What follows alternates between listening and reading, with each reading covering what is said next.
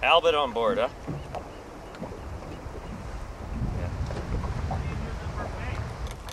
Got the bottom. Whose line's going out? What do you say?